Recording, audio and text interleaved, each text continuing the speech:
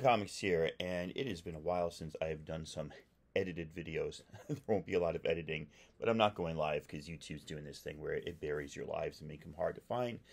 I've got the time. It's summer. I'm going to show you some stuff. This is a G. Willow Wilson appreciation video. Should be a new comic book day video, but that was Wednesday. It's Saturday. So here we go. Um, G. Willow Wilson came out with two big books this week. And if you know anything about me, you know that I'm a super fan. Um, love G. Willow Wilson. Love the work that she does. Um, Ms. Marvel's one of my favorite characters. Uh, and so, you know, I'm really happy when there's a day where there's two different books released that she's worked on. First one I'm going to talk about is The Hunger and the Dusk. Uh, G. Willow Wilson wrote it. Chris Wildgoose is the artist. Um, I don't know. Do you pronounce that M Sassy K or Miss Assy K? Miss Asic? I'm going to go with M Sassy K. Uh, is doing colors, inks by or letters by Simon Bowland, Diana Sousa on color assistant, Maggie Howell editor, Jake Williams assistant editor, and Nathan Widick as the production and design uh, person. So this is from IDW, which is new. I don't think G. Willow Wilson has ever done an IDW book. Um, pretty darn cool. Uh, really beautiful artwork in this. First of all, the writing is uh, flawless. That is, stays flawless, but not exceptional. Um, and I don't mean that in like a, a, criticizing her. Uh, this is an establishing issue, right? First issue get your main characters, get your story, let the readers know what they're in for, and then go from there. And that's exactly what she does. So basically, you've got a quasi medieval um, setting. You have uh, humans and orcs. They've been at war for years, but there's also another group called the Vangal. Mythical creatures who come and kill everything, so the humans and orcs have to put aside their differences and um, make nice with each other, as you see here. Human orc making nice with each other, and uh, you know, gather together to to uh, vanquish the Vangal or something like that. And in order to do that, the orcs have presented the humans with a healer to go with um, this troop called, I think, the Last Men, who are um, one of the fighting groups in this of humans in this group, and the guy who's the head of the Last Men is um, this gentleman here, whom I believe is going to be the love interest of the orc, and they uh, they are not one of the best fighting groups. And the guy's like, "Why'd you want me? We don't even know when to run when we're losing." The guy's like, "That's exactly right. You don't run when you lose. You stay and fight, and that's why we chose you." Yada yada yada. So you know, there's um, right as this is happening, the Vangals attack, and just a couple uh, sequential artwork panels here show you how good the art is. Um, really, really well done. Beautiful book. Uh, I'm loving it. You know, this is a, a typical story, I would say, um, so far. And I don't mean that in a negative. Again, uh, it's all about execution, right? So G. Willow Wilson sets it up really nicely. The artwork is gorgeous um, and just really leaves you kind of wanting more. Uh, so I am definitely down with this series. Going to put it on my pull. I think it's kind of nice that the um, the back of all the covers have the. I believe this is going to be the. Uh, is this the cover for? Nope. This is just an inverted, uh, brown scale version of this cover. That's really cool. So yeah, excellent book. Really nice to see G. Willow Wilson on another one. The last one that she did was this kind of intergalactic take on Amazon, which is I, I thought it was just awesome. Um, so that is Hunger and the Dusk. Really great book. If you're looking for a new good read and you like kind of fantasy stuff, I can't suggest it any stronger. Uh, right there, you have, my gosh, I'm going to get the, oh, Cliff Chiang, um, who did Paper Girls, among other stuff. think that's a B cover. You have a 1 in 10 Leinil Yu. Uh, my LCS is an awesome, awesome place, Stargazer Comics, but they could not get the 1 in 25 or 1 in 50, and I think maybe even a 1 in 100 um, for me, which is fine. They got me the 1 in 10, and I really appreciate it. Shout out to Stargazer Comics. This just, oh my god, this cover is awesome. So, this is our human, this is our orc, and she's a healer, um, which is going to come in very handy And then I've got a handy place to get somebody to do a sketch for me. So I'm really excited about that as well. Now, the big one Fallen Friend, Miss Marvel. Now, I'll tell you right away, um, G. Willow Wilson's not the only creator on this. There's tons of great creators. Uh, you know, I'm a huge Miss Marvel fan, and I was excited for this because it looked kind of cool, but I'm like, you know, the worst kept secret in comics right now is Miss Marvel's not dead. She's coming back, or she'll be res- resurrected, the gates of Krakoa, and she'll be a mutant. And then um, they just announced that Miss Marvel, the New Mutant, will be the new book um, co-written by Iman Vellani, which is like, that's awesome, right? That's freaking awesome.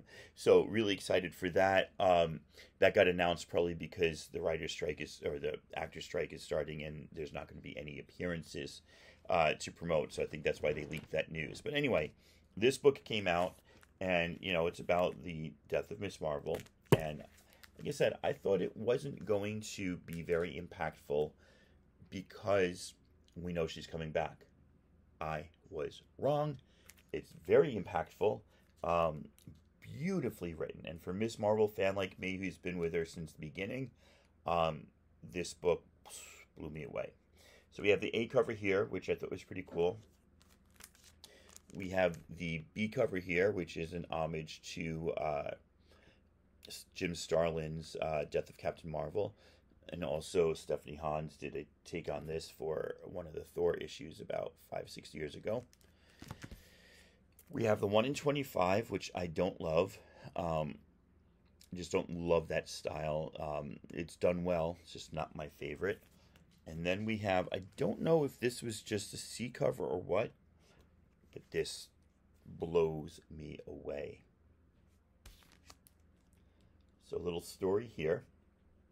Got this from my LCS. Stargazer Comics, like I said. Has that tick right in the middle. I hit them up on the socials and I was like, hey, it has a tick. Can I come replace it? And they're like, sure. So went for a walk with my son this morning, not intending to go to the LCS, but I passed by there anyway. So I went in to pick it up. I still have to take this one back. Um, but it's super hot out. You can see the sun peering through that window there. I don't have it covered up perfectly. Uh, so I got this one, and see if you can see the uh, fingerprint on it. Basically, right by my finger. I held it like this. I should have gotten a bag and board, but I bag and board my own stuff. So just the 10 minute walk from the LCS back to my house, It's holding it like this, and I totally like my finger came out all black on the tip, and um, and I got a nice fingerprint smudge there. So I'm going to go back and buy a third copy. I'm crazy, I know. I know. Anyway, let's break into this and see what's got Tacoma Comics so excited. And I'll tell you right off the bat, um, this is a story done in three parts.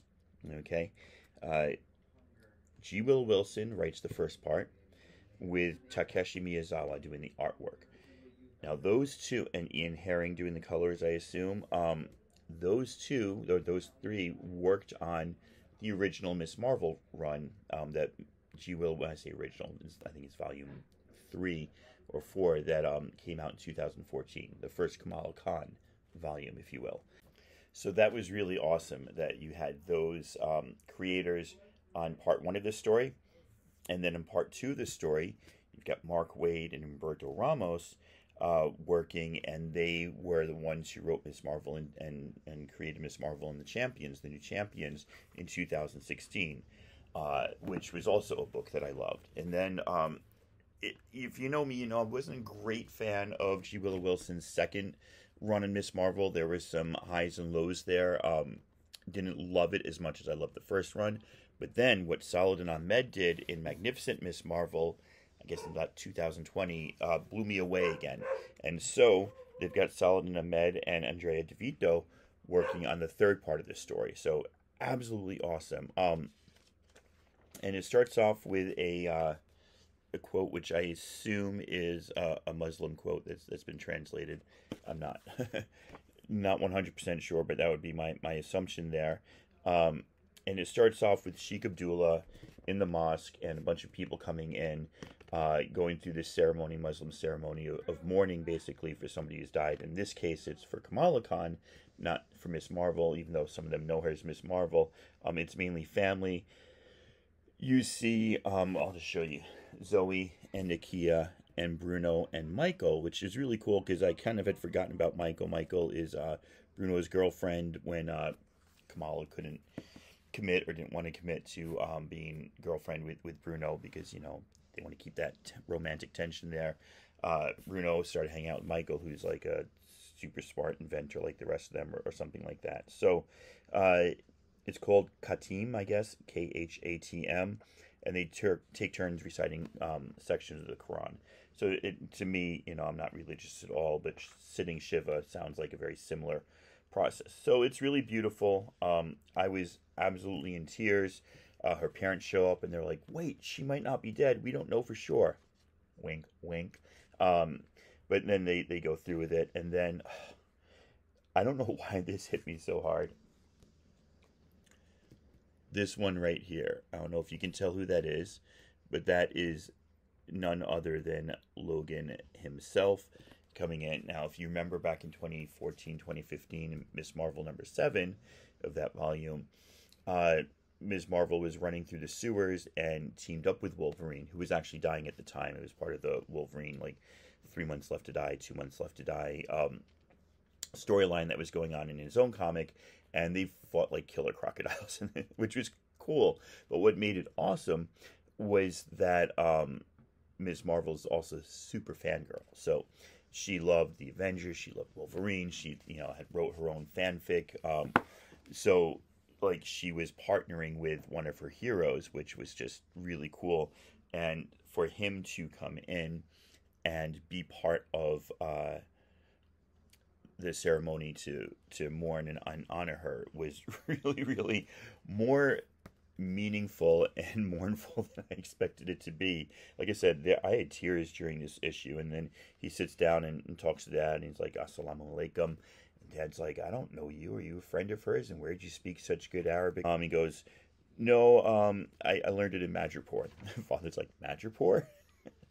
don't know what that is. So anyway, one of the things I love about this is the artwork just looks exactly like the artwork from the original series, which is great. I didn't need to see Red Dagger there. Um, that was, uh, I thought, a little over the top, perhaps. Um, but then this one, oh my god, oh my god, that got me. Captain Marvel showing up and that shot at the end there. Look at that. Hey, that was awesome. Absolutely love that. So then what happens is now we get a champion's tale right here, which also was really cool. If you look at the artwork here, Humberto Ramos, just like the champions, looks just like the champions. They got Amadeus Cho in his Brawn outfit. You know, they've got uh, flashbacks now to when Miss Marvel stood up to the Avengers and she's like, We are forming our own group, and then the fight over leadership. And then Amadeus Cho becomes a dick kind of is a dick. That's his character. Um, and he starts like getting mad at, at, at Viv Vision. And he's like, "You don't understand." And so she turns off her emotion chip. That's a Star Trek reference. Um, she allows herself to feel whatever, and, and like, look at this. the actual horror of realizing what it means to lose somebody um, hits her really hard. Hit me really hard then, because Viv is probably my second favorite from from this group.